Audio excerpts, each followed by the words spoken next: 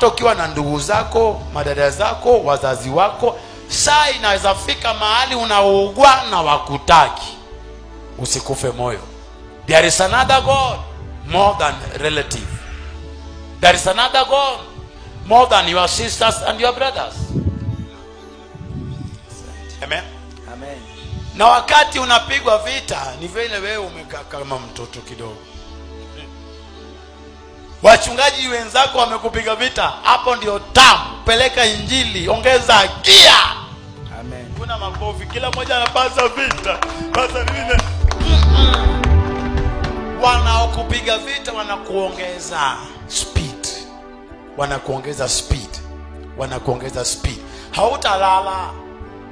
Biashara bila kupigwa vita box.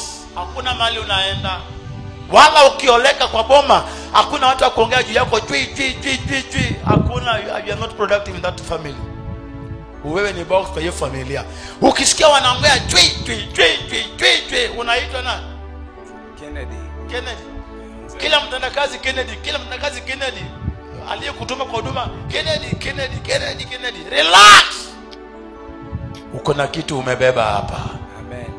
ana Safi kabisa bwana, mambo vipi? Which is okay. New Life ni watu wengi, New Life ni ministry ya watu wengi ambao ni mimi na wewe. Sasa tusikizane, mtu wa Mungu, nakuomba usikize kidogo. Sasa kabla hujabwabwaja, kabla hujaanza kubwatuka huko uliko na kudanganya watu kwamba sisi ndio tunataka Pastor Ezekiel na Gilaki wakosane, inafaa ujifikirie kwanza, kabla hujaanza kubwatuka, kabla hujaanza kubwabwaja huko uliko na kuanza kudanganya watu kwamba sisi ndio tunachochea ama sisi ndio tunataka Pastor Ezekiel na Gilaki wakosane, usikize hii vizuri na ikupate vizuri.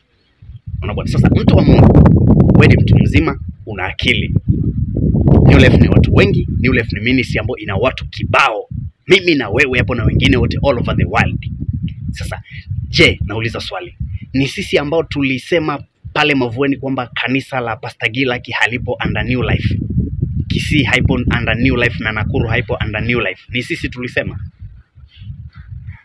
Jibu ni kwamba sio sisi tulisema. Aliyesema ni baba yetu wa kiroho ambaye ni Pastor Ezekiel Odero, yeye mwenyewe alisema wazi wazi kabisa, na imani kama una akili zako timamu, wewe ni mtu mzima, ulipata hicho kipindi na ulikisikia. Sasa sio sisi, sio sisi tulioanzisha haya mambo, sio sisi tuliosema kwamba uh, kanisa la Pastor Gilak Kisii halipo under New Life. Ni Pastor Ezekiel Odero yeye mwenyewe alisema, na alisema kwa kusema hivi, unaona hapa kan, unaona hapa kanisa la Pastor Gilak, unaona hapa Pastor Gilak akiwa unaona kanisa la Nakuru hapa likiwa, unaona kanisa la Kisii hapa likiwa. Kwa hivyo sio sisi. Sasa usituletee shutuma, usituletee kisirani yako na kutuambia kwamba sisi ndio tunataka kukasirisha watu ama sisi ndio tunataka kupotosha watu. Wewe ndio utakuwa mpotoshaji wa kwanza kabisa, kwa sababu utakuwa hautumii akili. Kwanza hizi habari tukizipata tunazifanyia kwanza uchunguzi na tunamwomba Roho wa Mungu atuongoze vile tunaweza kuiongoza hiyo habari. Sasa sio sisi, aliyesema ni Pasta Ezekiel Odero. Anyway, nataka urudi kwenye pointi ya msingi, ni kwamba Pastor Ezekiel Odero aliweza tuachane, tuachane na hiyo kwanza, turudi kwenye pointi ya msingi. Pastor Ezekiel Odero aliweza kusemaje kwamba amewasamehe wale mapastors wote it doesn't matter uko Kisii, it doesn't matter uko Nakuru, it doesn't matter uko wapi, mahali popote, yeye alishatoa msamaha, na sisi kama New Life member, huo msamaha tuliupitisha na tunawatamkia baraka pia, na sisi kama wafuasi tunawatamkia baraka, kwa sababu hicho ni kitendo kizuri kilichofanywa.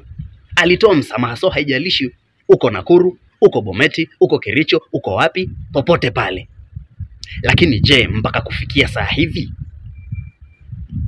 mara baada ya kutoa msamaha hakuirudia tena hiyo habari. Hiyo habari iliisha vile vile. Sasa inakuwaje tena mnataka kurudisha hii habari kwenye seko? Tunakuwa hatuwaelewi, mnakuwa mna personal interest zenu. Unaona bwana? Sasa mimi naomba tuishie hapo. Hebu jaji kwanza hiyo kauli. Okay, hiyo kauli ya Pastor Gila akikuzungumza hivyo ni mambo ambayo yapo na kuileta hapa mbele yenu, siileti hapa eti kwamba tunachonganisha. Hapana, hayo ni mambo yapo, hata wewe binafsi najua. Ndugu, kuna ndugu zako wengine mnaweza kuwa mnakwazana nao kwa namna moja ama nyingine, lakini yupo Mungu mbinguni ambaye ndio anasimamia kila kitu. Yaani kuna Mungu ambaye ndio anasimamia mchongo mzima. Si kama tunaelewana watu wa Mungu. Mimi nataka uweke akili yako vizuri chini na ndo uweze kuelewa hii. ina maana gani? Ndo hii ndo, ndo itakufungua vizuri, lakini ukibwatuka tu ukibwabwaja tu kama ambao tunaona wanabwabwaja, hutoelewa chochote na utatoka bila hata nyota. Mimi nakwambia utatoka bila hata nyota yako. Sawa bwana, mimi niko live Mavueni huku na enjoy kama kawaida, au sio? Lakini pia vilevile nataka niwakumbushe kwamba kuna meza ya Bwana inakuja, inaanza kuanzia kesho. Hii mtu wa Mungu itakuwa heavy hii hii, hata upaswi kukosa. Yani popote pale ulipo, fanya hima juu na chini, yani uweze kufika maeneo hayo tu, enjoy pamoja hii meza ya Bwana, kwa sababu hii ni meza ya Bwana imetamkiwa mambo makubwa, na imani pia mmeonyeshwa mifugo ilivyo, mmeonyeshwa kila kitu. Jana Pastor Ezekiel amekazia kukazia kuhusiana na hii meza ya Bwana, anataka watu watoke kwenye gorofa pale wapewe roho ingine. Sasa usikuwe tu na roho ya kufikiria tu negative. Yaani kuna mwingine unaweza kuja tu hapa unafikiria tu negative, hata hujawatch video hata 30 second ushaanza matusi, ushaanza kuporomoka.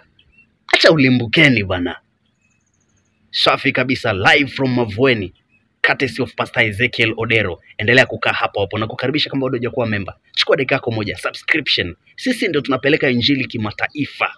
New Life ni watu wengi, New Life ni ministry sio ya mtu mmoja, ni ministry ya watu wengi, na sauti ya wengi ni sauti ya Mungu.